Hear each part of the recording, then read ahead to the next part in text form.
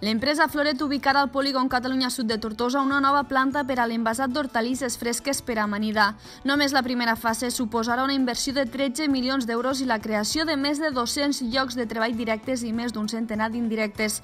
Una molt bona notícia que arriba en plena crisi sanitària amb la pandèmia del Covid-19 i també amb incertesa econòmica per a empreses i treballadors. Este és un tipus d'indústria que, que suposo que a ningú se li escapa, que és la que desitgem al territori. És una indústria vinculada al sector agroalimentari, una, una indústria 4.0 amb una capacitat, a més a més, d'acció i d'incidència amb el nostre sector primari, amb la nostra agricultura, per tant, amb els nostres productes i que, a més a més, ens suposarà també la creació de molts llocs de treball i, per tant, eh, molts llocs de treball que van molt més enllà dels que us he dit abans, continuaran amb següents fases que ja anunciarà l'empresa al seu corresponent moment.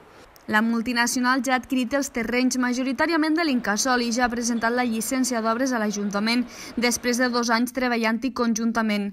L'empresa preveu començar les obres el proper mes d'abril. Consistirà en la construcció de la nau de producció i la zona d'oficines que ocuparan 7.600 metres quadrats d'una superfície total de 64.000 metres quadrats. Volem finalitzar l'obra al llarg d'aquest any i primers de l'any que ve per tal de poder obrir l'activitat, començar l'activitat al segon quatrimestre del 2021, per tant, primavera-estiu de l'any que ve del 2021. És una indústria de les que podem qualificar de 4.0, amb un clar enfoc cap a una major eficiència dels recursos i adaptada a les demandes de clients i de sostenibilitat. A banda d'això, també anunciar-vos que aquesta empresa, en aquesta primera fase, preveu una producció de 25 milions de bosses d'amanida anuals.